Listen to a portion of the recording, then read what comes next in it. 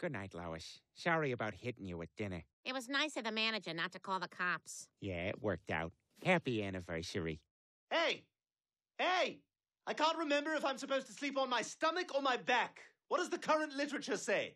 Peter, go check on Stewie. Fine.